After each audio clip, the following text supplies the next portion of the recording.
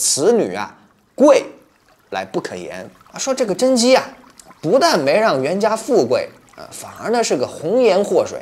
甄姬此时是二十三岁啊，比曹丕啊是大了五岁啊，而且呢，他又属于是一个离异啊，几乎丧偶的这么一个身份。大家都知道啊，这个《王者荣耀》呢，里面有个英雄叫做甄姬。在历史上呢，甄姬啊，她其实是魏文帝曹丕的老婆啊，等于就是曹操的儿媳妇儿啊。那她呢，她其实是一个著名的美女啊，就长得非常好看啊。你们知道这个大乔和小乔吧？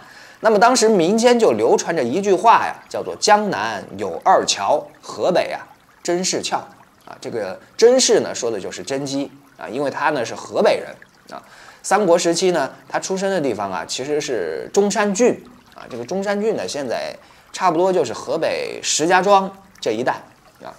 那么早期呢，呃，甄姬也可以说是出生于一个富贵人家啊。他的爸爸呀，当时是担任上蔡令啊，等于就是上蔡这个地方的呃一个县令，所以他呢是县长的女儿啊，不是什么贫苦呃老百姓出身啊。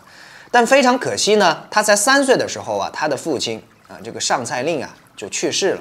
呃，等于呢，老爸去世啊，后面呢又遇上了这个黄巾军之乱，这个造成这个百姓呢就民不聊生啊，整个生活是被搅得乱七八糟啊。所以整个幼年时期呢，甄姬的命运啊不是很好。但是呢，在这期间啊，他遇到过一个给他看相的人啊，就曾经给他留下过七字评语啊，就说啊。说她这这个这个女子啊，啊，这个原文是怎么说呢？就是说此女啊，贵来不可言啊，就是说她的这个富贵啊，她将来的这个富贵啊，是不可言说的啊。呃，那这是什么意思呢？呃，那说起这个事儿啊，还得牵扯到另外一个人，谁呢？袁绍啊。那么当时的在中国北方呢，这个袁绍啊，是从一群的这个诸侯以及起义军中是脱颖而出。啊，就成为了这个冀州区域的一把手。呃，那此时呢，他在冀州，冀州其实就是现在的河北，哎，这一块儿啊。那袁绍也听说了，就是有一个呃叫做甄氏的美女啊，长得非常漂亮，所以呢，袁绍就想帮他的儿子呀，啊，是讨甄姬做老婆。啊，这个袁绍其实挺厚道的，哎，没说自己据为己有，哎，想的都是他的儿子，哎，就呃帮他的儿子，呃三儿子袁熙。哎，是讨这个甄姬啊做老婆啊。那当时袁绍，你想想啊，全国响当当的这个人物啊啊，汝南袁氏四世三公，对吧？呃，所以大家就都认为呢，这个呃甄家呀，那以后是要过上好日子啊。原来当初看相的说这个富贵不可言啊，说的就是跟着他们袁家啊。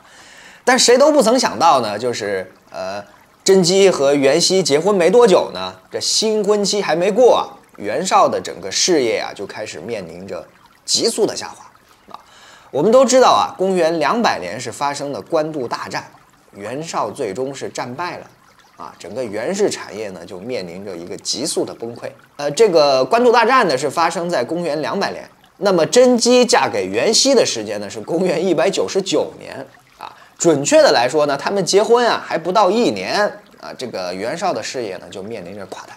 啊，呃那这个时候又有人发表看法了，说啊，说这个甄姬啊，不但没让袁家富贵啊，反而呢是个红颜祸水啊。自从她嫁过来啊，这个袁家基本上就玩完了啊。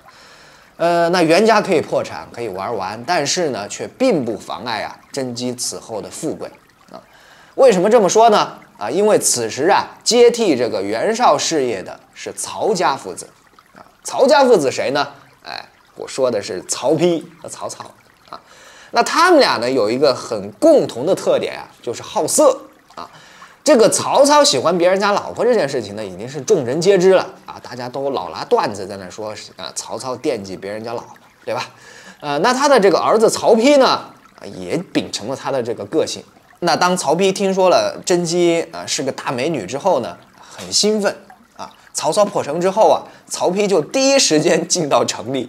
哎，而且呢，赶到了什么地方呢？就就到了这个袁宅的前面。哎，他的目的是什么呢？就是想进去看一下，哎，这个传说中的甄姬啊，还在不在？哎，是不是就像传说中的啊，美若天仙？哎，怎么怎么地？呃，那当呃那当曹丕如愿以偿的就看到甄姬之后呢，整个人都惊呆了啊，比传说中的还要更加好看啊！曹丕当时可是十八岁啊，血气方刚，所以心情呢就很激动啊，就找到了他的父亲，就对曹操说啊，啊说爸啊，你帮我讨了这门亲事吧啊，我想娶这个甄姬啊当老婆啊。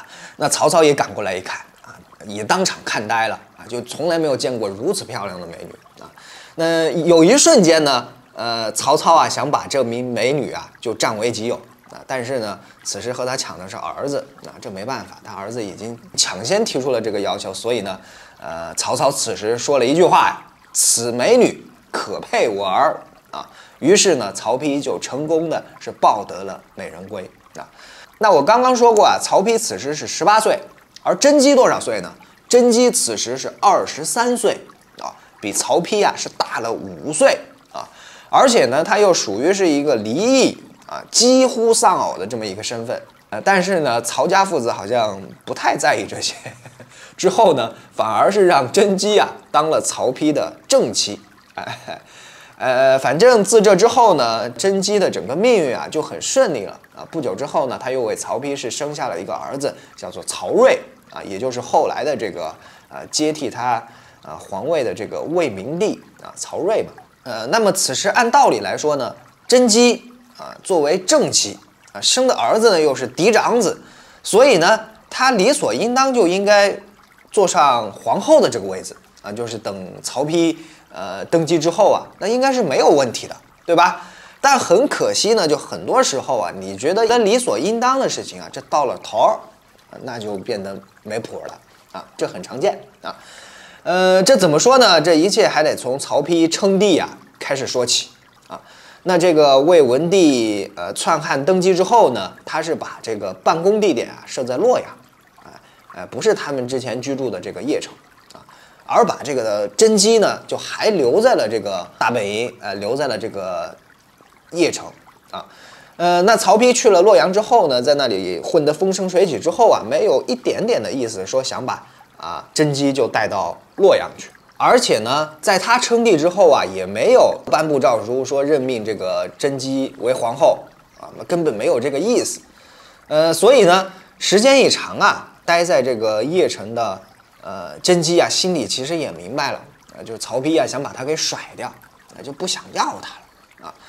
呃，女人的直觉还是挺准的啊。此时呃，在洛阳的曹丕呢，确实得到了不少的美女。啊，其中呢，呃，年轻漂亮当然很多啊。其中呢，有一个姓郭的贵人啊，就特别受到曹丕的宠爱啊，是叫做郭贵嫔。那了解到这些消息之后呢，呃，甄姬呀，呃，就开始日益的消沉，因为女人嘛，呃，总是对这个名分这些东西是很在意的。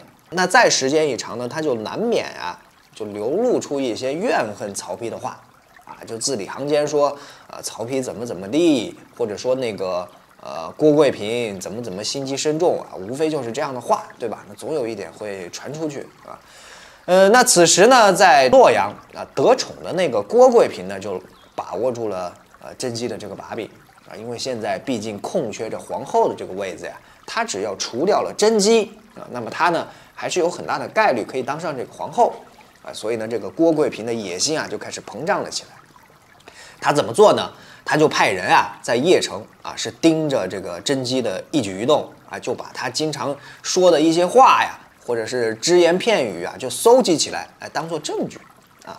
呃，那你要知道啊，就是说，人非圣贤，孰能无过，对吧？你要你要害一个人呢，那很太容易了。呃，欲加之罪，何患无辞？你就包括现在的很多公司啊，你像呃，有一些。呃，什么什么地要找他的毛病，那太容易了。我公司以前上过班，那对吧？你要挑他的毛病啊，什么这里的账，那里的怎么啊？那多多少少都会有一点问题啊。就算啊，比如说你开个车在呃大马路上啊，或者是呃正规的这种呃，就是说呃交规要求你啊是要双手握方向盘。那比如说，如果你有一天你单手握这个方向盘，哎，另一手呃把这个那个那个那个那个靠的那个地方，哎，那那交警就可以挑你的毛病，就是说啊，你没有双手握方向盘啊，就是说这种挑毛病这种事情呢，这没得讲啊，欲加之罪，何患无辞嘛。呃，所以呢，呃，这个郭贵平呢，就很快就搜集到了呃甄姬说的一些啊怨恨曹丕的话，啊，那这就很麻烦啊，因为在古代呢，这个皇帝啊可是君权神授啊，你是不能往他身上泼一点点脏水的啊，就就是就是就是怎么说，你可以说别人，随便哪个人你说都可以，但是呢，不能说皇帝啊，反正就是这样啊。呃，那郭贵平把证据收集好之后啊，就向曹丕打小报告。就说这个甄姬在邺城把你的一些小秘密呀，一些很隐私的事情啊，就到处说啊，同时呢还诋毁你啊。那曹丕一听啊，啊，可能他本身啊，他也有这个想法，就是想把呃甄姬啊给处理掉啊。所以呢，呃，自这之后啊，他他有了证据之后呢，就好办事儿，对吧？他就派这个使者啊，是前往邺城啊，就准备将甄姬刺死。啊，之后呢就葬在邺城啊。那据说啊，当时他刺死甄姬的时候，还发生了这样一件呃奇特的事儿啊，就是说曹丕有一天做梦，说梦见宫殿上啊有两片瓦是掉了下来，就化成了双鸳鸯啊。那这是什么征兆呢？他此时啊就问身边一个叫做周宣的人啊，这个周宣呢，据传说啊啊是周公的后代啊，我也不知道啊啊，有些书这么写啊。那周宣就说啊。这个后宫啊，恐怕有人会暴死啊！曹丕说：“我说着玩的啊，骗你的啊！”，周宣就说呢：“这个做梦啊，有时可能也是内心深处啊您的一个真实想法啊，就通过这个梦境啊，将它表现了出来。”那之后又过了不久啊，曹丕又问周宣啊，说：“我昨天梦见一股青烟是拔地升天了啊！”这周宣说啊：“这个天下呀。”恐怕有一位高贵的女子是冤死了啊！那此时呢，曹丕已派出使者，呃，就拿着这个啊给甄姬赐死的这个诏书啊，就已经去往了邺城啊。那听了周宣的话之后呢，他也很是后悔啊，就想派人啊把这个使者追回来啊，但可惜呢，已经是来不及了啊。那么就这样呢，一代三国啊，绝世美女啊，乱世红颜啊，甄姬呢？就被曹丕给刺死了啊！人们常说啊，这个红颜多薄命，对吧？可能这就是啊，作为一个美女，一些不尽如人意，或者说啊比较悲哀的地方啊，就想把他置于死地的人啊太多了啊，敌人太多啊！而且呢，这个甄姬啊，她除了长得好看之外呢，她婆媳关系也处理得非常好啊。这个曹丕的母亲卞夫人特别喜欢甄姬啊，而且是真心的，而不是那种。假模假样的那种，这作为一个女，这作为一个美女啊，很难得啊。同时呢，据历史记载啊，啊，她还是一个美女诗人啊，很有才华啊，并不是一个花瓶。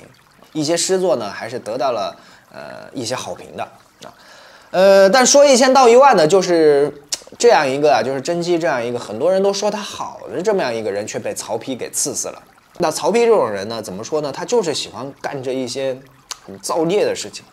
散德行啊，呃，你包括他的弟弟曹植，后来不是有一首诗流传千古嘛？煮豆燃豆萁，豆在釜中泣。本是同根生啊，相煎何太急啊！就说的呢，就是曹丕这种人啊，呃，对待这种至亲之人呢，喜欢下狠手啊，非常残忍的这种做法，杀了正妻，对吧？